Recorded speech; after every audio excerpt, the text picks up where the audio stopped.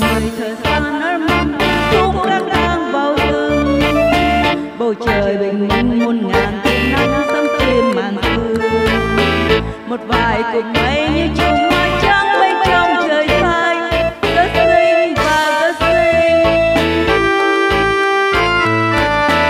Kịp một bầy nai vương rừng ngưỡng lá nhanh và ngừng còn một bầy chim vô tình vẫn hót